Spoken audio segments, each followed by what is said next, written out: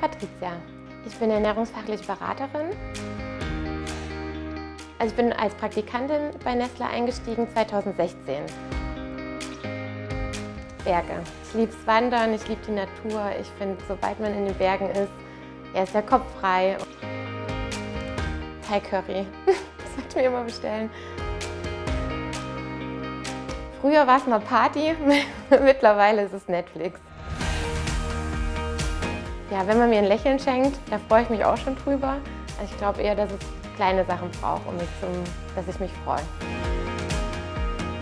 Barcelona fand ich eine coole Stadt.